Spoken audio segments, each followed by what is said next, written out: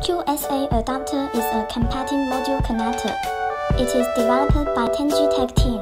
The QSA realizing the QSFP Plus point to be inserted into the SFP Plus transceiver. 10Gtek is committing to providing high-speed connectivity solutions.